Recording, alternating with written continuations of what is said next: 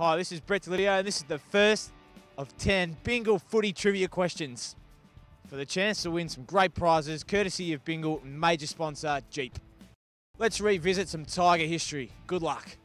Who took over from Bruce Monteath as Richmond's captain in 1981? There's a new round of questions each week, so to have a go, enter online at binglecomps.com.au.